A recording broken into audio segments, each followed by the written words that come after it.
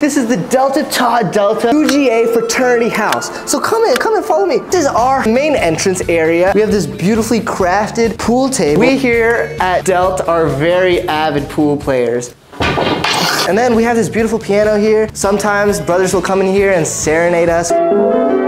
This is our grand library room. Super big, so you can like run all the way over here. So this is Nikki's room. Nikki, why don't you show us around? Show us It's pretty much like supposed to be the Caribbean. Got an arcade machine here that actually our works. beautiful backyard. So we have volleyball, two volleyball courts. This is our basketball court.